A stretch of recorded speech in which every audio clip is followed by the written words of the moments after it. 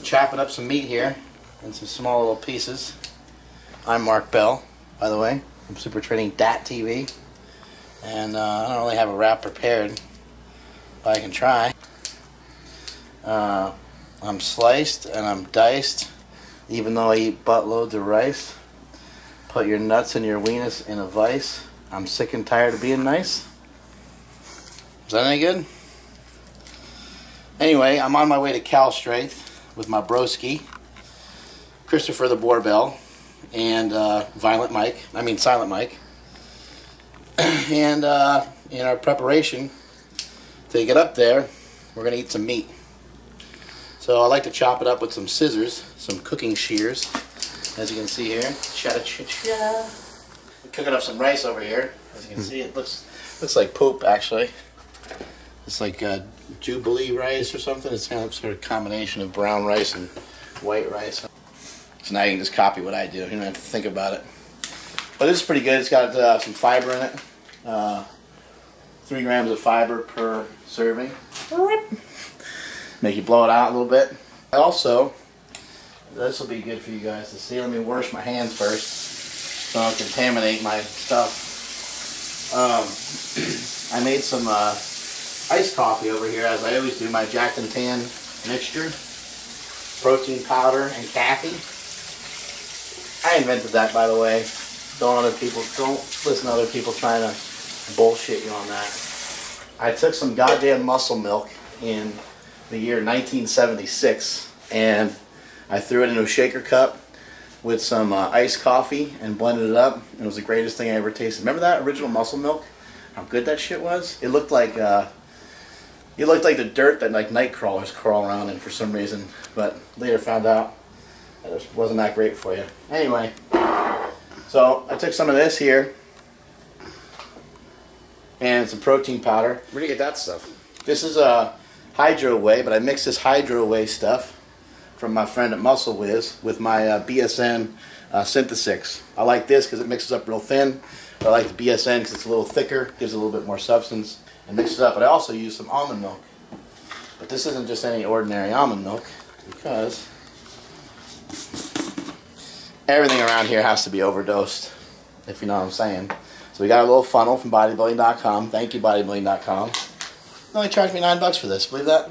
That's a great price. Nine dollars. Kidding, motherfuckers. It was free.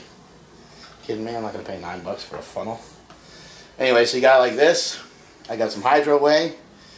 You guys kind of following me here? You see what's about to happen? Throw a little bit of this in there. Go like yay. And you can see how thin this protein powder is.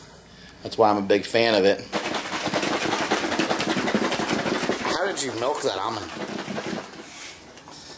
Hey, it wasn't easy, let me tell you.